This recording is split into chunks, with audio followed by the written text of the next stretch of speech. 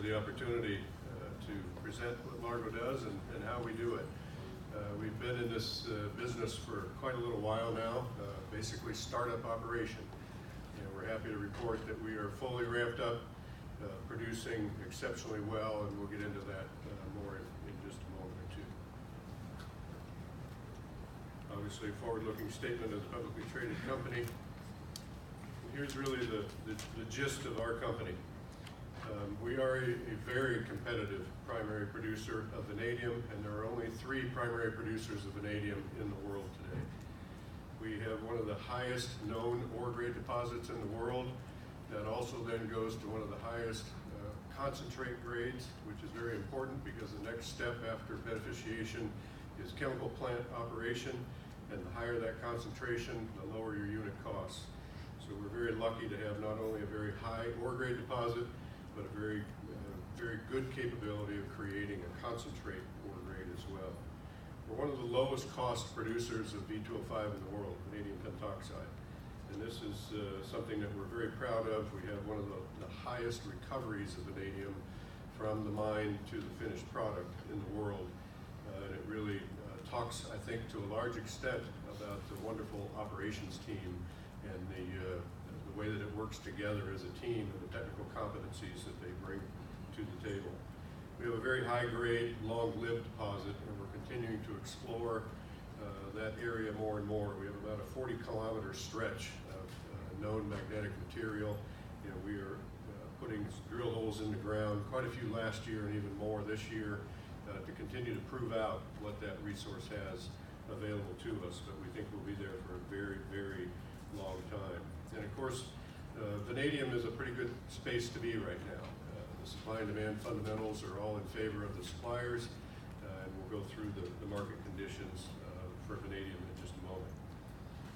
Safety is a very top priority. I, I don't think it would be appropriate if the mining company didn't talk about this, and you see that uh, we are headed in the right direction, and we, we take an immense amount of time and effort to train our operators and make sure that, that not only are we doing things safely, but they're thinking safely and they're thinking about their colleagues' safety as well.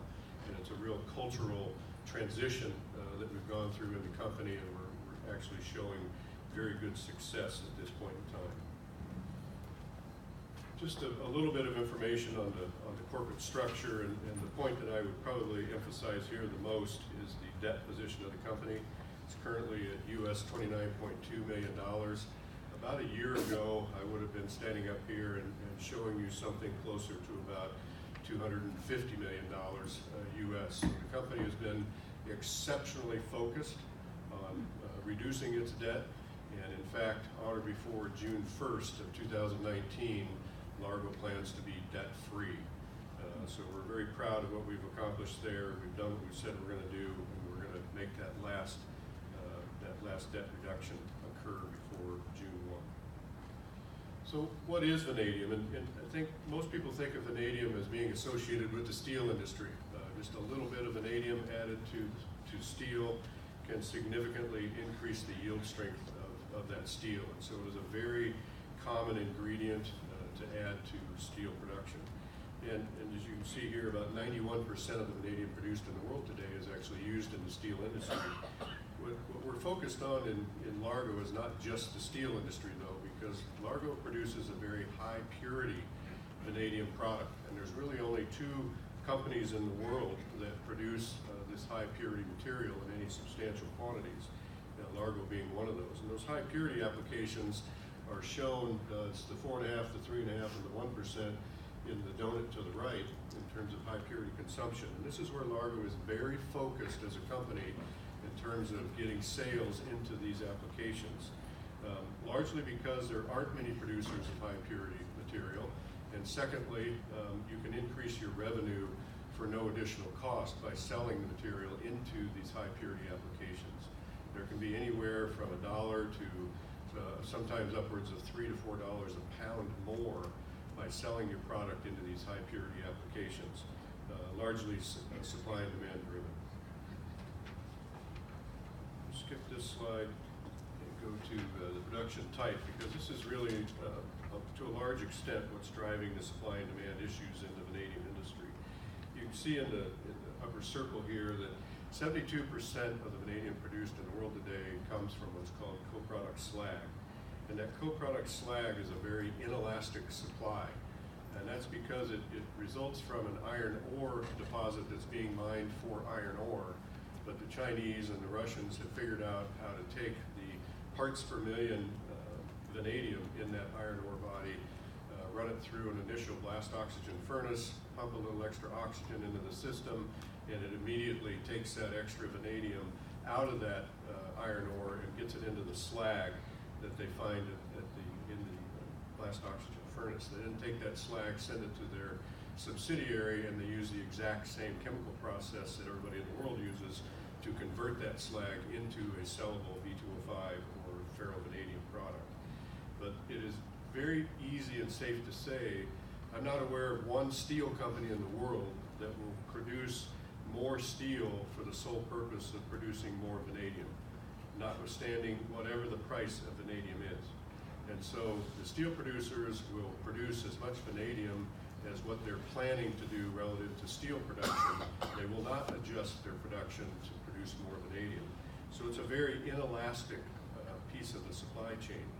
The, uh, the, uh, the secondary uh, recovery processes here, it's basically recovering uh, vanadium from spent uh, catalysts and that type of thing. Again, a, a fairly inelastic portion of the supply chain as well, which then leaves the three primary producers. Uh, there's only three primary producers in the world today that make up 18% of that, that uh, supply side. And those three primary producers are the only ones that can really swing production one way or another to um, you know try to, to balance the market out.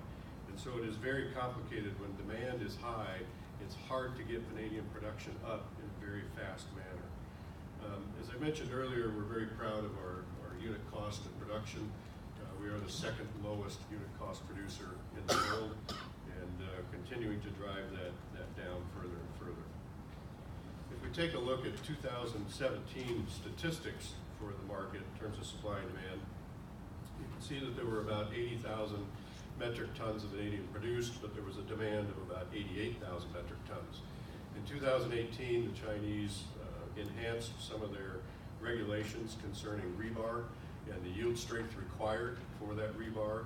And it's uh, uh, the Chinese uh, position that that change in the rebar standard will likely increase the demand for vanadium by 10 to 15,000 additional tons per year. That standard became effective November 1st, 2018, so we're starting to see that extra demand start coming into the market. So we're anticipating that the supply side really isn't going to change very much from the 80,000 that you see here. Maybe it goes to 82,000, maybe 83,000. But the demand side is going up very quickly. So instead of 88,000 tons of demand like we saw in 2017, we expect 2019 is going to be somewhere in the neighborhood of 98,000 to 105,000 tons per year. Again, the supply side not keeping up. So we're anticipating uh, some very uh, strong pricing atmosphere for this product as a result. You can see what the pricing has done. It's shown here on the left. Um, I won't take a whole lot of time to, to explain what we think is going on in the market right now. Bottom line is we think that it's correcting itself again based on the fundamentals of supply and demand and that prices will continue to, to uh, go up uh, as they have done for most of January, most of February. The graph to the right shows where we are in terms of the deficit uh, between supply and demand uh, quarter by quarter, and you can see that we are continuing to dig into uh, this, the inventories that are available, and it's our opinion at Largo that there is virtually zero inventory of vanadium available in the world today. Picture at night of the Maracás facility, uh, the mine being off in the left-hand side of the chart. You can't really see it in the dark, but chemical plant you can see in front.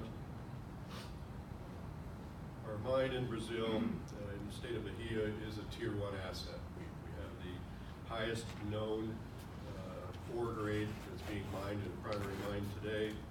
Um, we have the highest uh, concentrate grade as well as uh, mine ore grade. Um, the, the recovery of vanadium is something that we have worked particularly hard on for the last two years. And we're now seeing very regularly that we are well above seventy-five percent recoveries. And our goal as a company is to try to get higher than eighty percent. Uh, We hope to do that uh, by the latter part of this year. You can see again that we're a very low-cost producer, and then we produce this very high purity material. And when I first came into the, the vanadium business, you know, my first question was, well, how difficult can it be to go from ninety-eight percent for the standard grade to ninety-nine percent for the high purity? And believe me, it is very complicated, very expensive, and difficult to, to obtain. Ours kind of comes out naturally as high purity. We don't have to do anything special. We run uh, the same process flow diagram that everybody else in the world does, but because of that high ore grade, we end up with a very high purity material that can go into those uh, premium applications. Skip this slide just because it's, it's basically been covered already. Uh, but let's go to our, our production results. You can see that 2018 was a banner year for the company. Um, it was our second year in a row of, of record production, and uh, we're doing it all at a very, very um, good recovery rate uh, overall. And uh, because of some kiln issues, we think it's been maybe a little bit lower than what we'd like to see. But as we go through the kiln refractory turnaround uh, this month, we expect for the uh, recoveries to, to start seeing, uh, you know, very high seventies, if not low eighty percentile. Very quickly, you can see that the, the revenue side, the cash generated side are all going up, and we're all doing this at a very, very stable unit cost of production rate. And that is our, our goal as a company, is to continue to strive to be actually the lowest cost producer in the industry. So we'll continue to, to battle that uh, as we go. It is interesting because we are to the point now where it's, it's, you know, pennies and nickels that we save per pound now. It's no longer fifty cents or a dollar that we can save on what we do. So it's getting more and more complicated uh, as we, as we improve.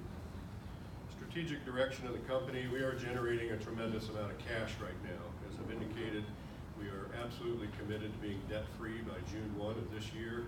And then it's a matter of either spending the, the extra cash on really good uh, capital projects or returning that cash uh, to our shareholders. And we do have one project uh, that I would like to talk about. Uh, It's our guidance for 2019, that's on our webpage. And we do have an expansion project that is underway, it was approved by the board of directors last April. It will increase our production by about twenty-five percent, so we'll go from an eight hundred ton per month design rate to a one thousand ton per month design rate. We're doing that at a cost of roughly fifteen to eighteen million dollars US. uh, And that will tremendously increase uh, not only our top line, but our bottom line as our unit costs also uh, reduce. That's uh, the end of my presentation. All right, thank you. I was about to interrupt you. Take any Uh, uh, questions that you so